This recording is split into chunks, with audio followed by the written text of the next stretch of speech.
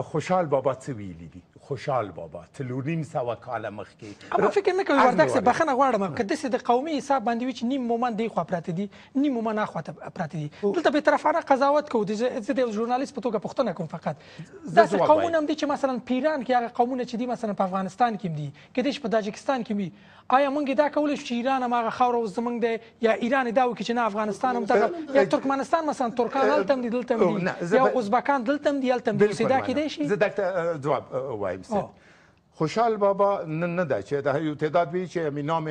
افغانستان هم خو از وقت احمد شاه بابا من ده خبرم دروغ ده افغانستان آمد مگرم افغانا بود 800 سال من سند دارم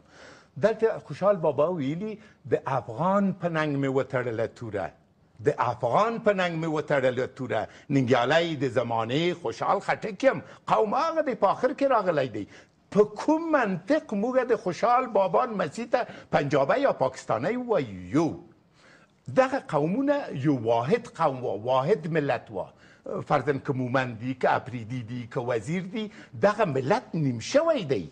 اوس مثلا په افغانستان کې موږ ازبکان لرو همالته ازبکستان بسته هیواد دی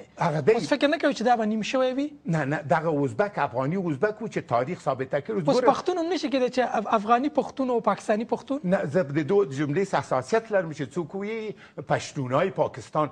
پنجابی پنجاب پښتون دي کومه کله چې پښتون وایي یعنی افغان شو د خپل بل ثبوت دی